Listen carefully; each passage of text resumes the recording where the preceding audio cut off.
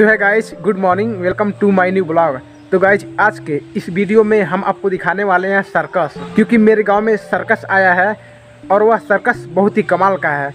तो आप लोग वीडियो में अंत तक बने रहिए और वीडियो का आनंद लीजिए। वाला खेल है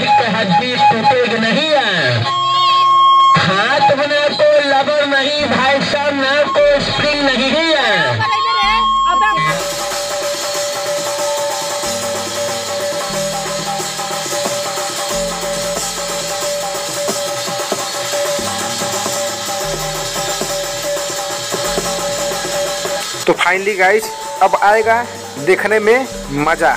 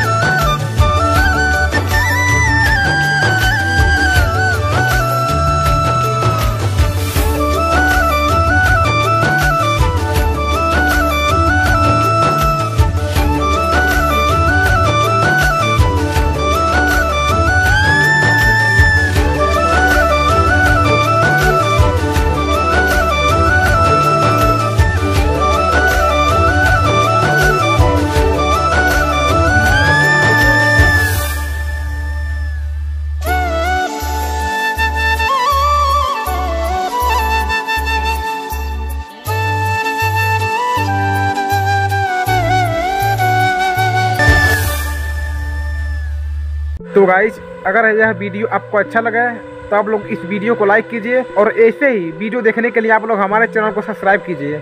और इसी बातों के साथ मैं आपसे विदा लेता हूँ और मिलता हूँ अगले वीडियो में। धन्यवाद।